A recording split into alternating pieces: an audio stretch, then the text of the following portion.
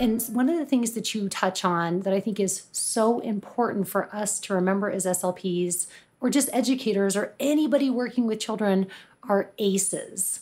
Um, so the adverse childhood experiences. And I remember learning about these, but it is one of those things, Jordyn, that I just feel like is not talked about enough. So I'd love to hear from you explain what these are and why are these important? Why should these be important to us as SLPs and educators? Okay.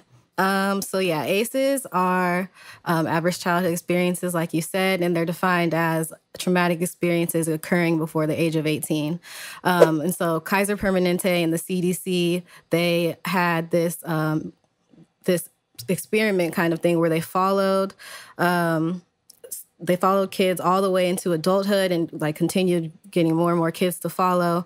And the study conducted showed that if you had a higher ACE score, which is more traumatic experiences, then you're more likely to have like very serious health issues as an adult. So um, these like issues can be household dysfunction, abuse, neglect, and then community and environmental, which is kind of a really big one now because obviously our communities and environment are going through a lot, whether that be with racism or like climate change or the pandemic. Like there's just so much going on. And so everybody is impacted by this.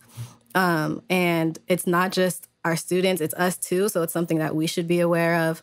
Um, but when it comes to SLPs, I think a lot of times we are aware of what's going on at home, but we don't kind of like make the transition into our therapy rooms or what our sessions are like. So I feel like we can help by like being a safe space, a support system, and playing a role in fostering resilience because that's the biggest way to like beat the kind of ACEs thing, like not come into these health um, health conditions if you foster resilience from a young age. So that's something that we can implement into our therapy all the time. I really love making like therapy functional, and so that's definitely something that they're going to need to function.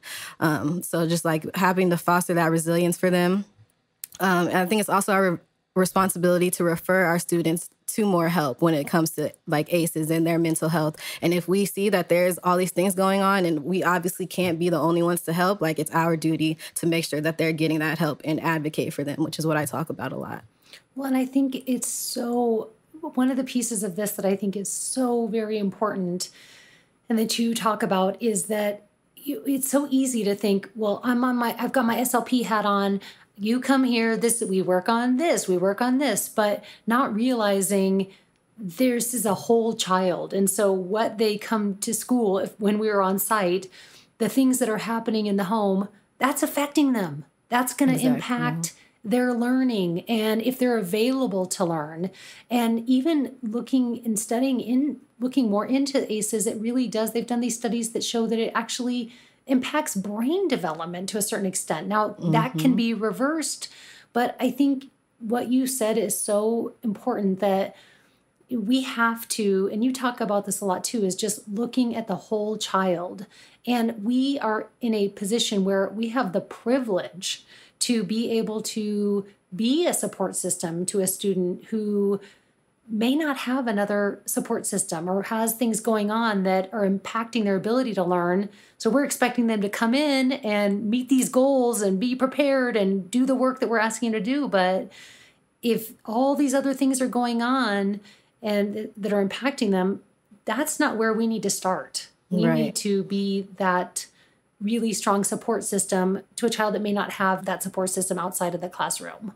Definitely, because how can we expect them to do anything like you're saying if there there's just so much other things going on? Like I'm not worried about pronouncing this sound correctly when like people are like these things happening at home are crazy, you know? Like and um, we need to be their support system, and we can't expect them to make progress with all these other things on, on top of them.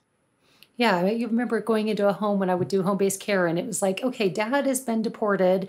There's no running water in the house we're not working on speech today. Exactly. You know, it's like what's the the hierarchy of what's the priority right now. So yeah, I think it's so important. And anybody listening, if you are not aware of ACEs, really and truly, and like Jordyn said, right now, especially during this pandemic, we're all in that bubble of dramatic experiences right now with not even just pandemic, but like you said, with you know, Black Lives Matter and the racism and then climate. It, there's just the list goes on and on and on of things that are impacting all of us right now. And especially as a child who can't make sense of all that, it's even more difficult.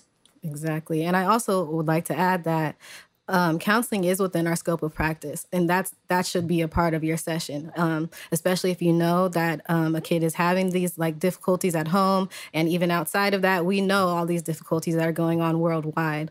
So um, it's definitely in our scope of practice and part of our job to be able to sit there and be with them and counsel them and help them get through what they're going through, and that comes before speech.